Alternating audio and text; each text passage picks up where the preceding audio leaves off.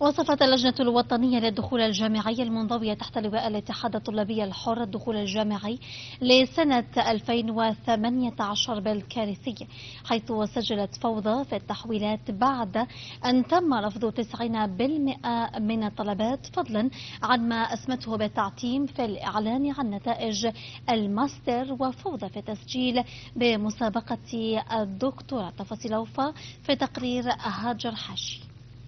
دخول جامعي على المحك. هو ما وصفته اللجنة الوطنية للدخول الجامعي لسنة 2018 المنضوية تحت لواء الاتحاد الطلابي الحر حيث سجل لفظ طلبات 90% في ملفات التحويلات نقصا في الخدمات الجامعية والإطعام والنقل وغيرها. بالحد الآن لم يعني لم لم يتلقى الطالب ولا لم لم يعني يعني لم يتلقى الطالب مختلف الخدمات من إطعام ونقل إلا يعني في الأيام الأخيرة وبالرغم انه الطالب التحق بمقاعد دراسة ابتداء من 2 سبتمبر حسب تصريحات الوزارة الوصية. اللجنة سجلت أيضا تاخرا في الإعلان عن نتائج الماستر فضلا عن المشاكل التقنية التي صاحبت التسجيل في مسابقات الدكتوراه عبر الموقع الإلكتروني. لحد الآن لم تعلن نتائج الماستر ولكن غموض كبير على كيفية معالجة يعني طلبات يعني يعني الانتقال إلى طور الماستر بالنسبة لنظام الألم دي.